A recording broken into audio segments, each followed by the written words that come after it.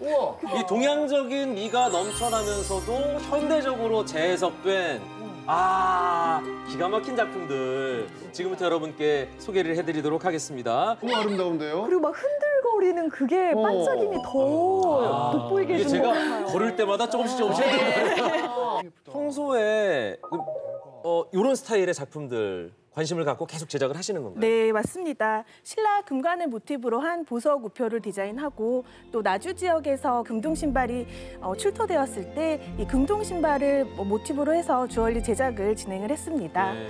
어, 혹시 직접 착용도 가능한가요?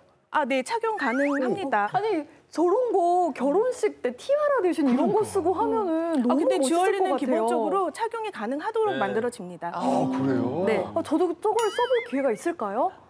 한 번 더 하시면 아, 결혼 한번 더 하면. 두 번째 결혼식 연락하세요. 제 2회 결혼식 때 특별히 쓰도록. 이거 2회, 이거 3회. 사회하면 저 부록으로. 귀걸이 양쪽에 하고. 아 근데 주얼리 디자이너시잖아요. 네, 그러면 보석을 선물 받는 경우도 있을 텐데 그럴 경우 어떠세요? 디자인이 이게 좀 아, 이렇게 막 분석하고 품평하실 것 같은데 먼저 디자이너시니까. 저는 순금을 선호합니다. 아, 예. 달라. 디자인을 한다. 많은 분들이 천년 전.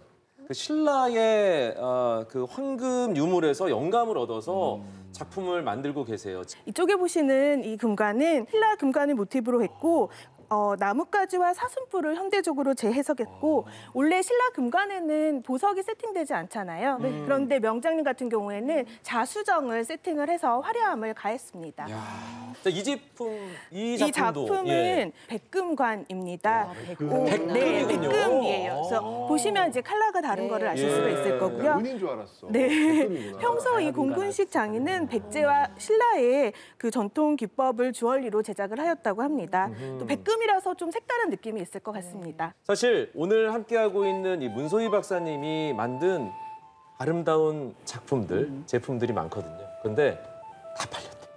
진짜. 거의 완판.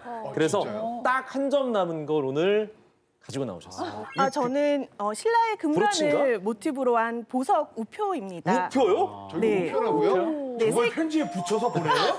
중간에 때갈 것 같은데? 어, 세계 우표 전시에 전시를 할 때 이제 작품을 디자인을 했고요. 음, 사랑하는 마음 표현을 할 때는 떠나 보낼 수도 있겠죠. 저한테 좀 편지를 보내주시죠. 제가 기꺼이 받겠습니다. 집에서 보고 계시지 않아요? 이 만드실 때 금관에 대한 관심은 물론이고 연구도 참 많이 하셔야겠어요. 어, 네, 맞습니다. 신라의 금관은 상징성이 강하고 장식이 아름다워서 한국을 대표하는 명품 중의 명품입니다. 어, 지금 봐도 디자인도 뛰어나고 그 절정기의 금속공예 기술을 고스란히 볼 수 있죠. 그 당시의 기술은 지금까지도 우리가 사용하고 있습니다. 이게 네. 그 기술이 훌륭해서 지금도 쓰이는 거예요? 아니면 옛날에 썼던 기술이니까 잊지 말자라고 지금도 쓰는 거예요? 음, 금속공예의 가장 기본적인 기술입니다. 어, 그때부터 있었던 아, 거예요. 그렇죠. 황금을 만드는 기술 자체는요 수천 년 거의 변하지가 않았거든요. 이렇게 쳐가지고 튀어나오게 한다든지 왜냐면 황금은 귀하기 때문에 거푸집에 붙는 게 거의 없거든요. 그래서 자르고 세공을 하고 철사처럼 길게 느리기 때문에 예전 이집트부터 지금까지도 이들의 그 황금 예술은 거의 변한 게 없다. 저 왕관이요. 도금이에요, 순금이에요? 궁금하지? 저걸 다 금으로 하려면 너무 귀한 문화재를 앞두고? 순금이냐 아니냐 이게 중요합니까? 신라 금제 금 함유량을 어떤 연구자가 어, 연구를 했는데요. 그 신라 시대의 금관 6점과 금 제품 115점을 대상으로 성분을 분석했는데 신라 유물의 순도는 24K 순금이 아니었습니다. 아, 동심을 파괴하시는 겁니까? 금도 예. 잠깐만요. 24K만 있는 게 아니라 뭐 어. 18K, 14K 있으니까요. 순금이 아니라면 네. 뭘 섞었을까요?